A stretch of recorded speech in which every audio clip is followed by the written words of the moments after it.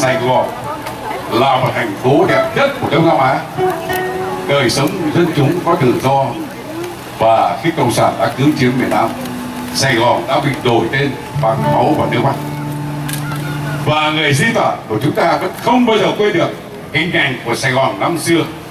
Kính thưa quý vị, ngày hôm nay đây, chúng tôi xin mời quý vị nghe để chia sẻ cái sự hồi tưởng và đối tiếc của Sài Gòn năm xưa dưới chế độ Việt Nam của bà chúng tôi xin giới thiệu nhạc phẩm Sài Gòn quý Việt của nhạc sĩ Nam Ngọc qua tiếng hát diễn tả của Mai Phương.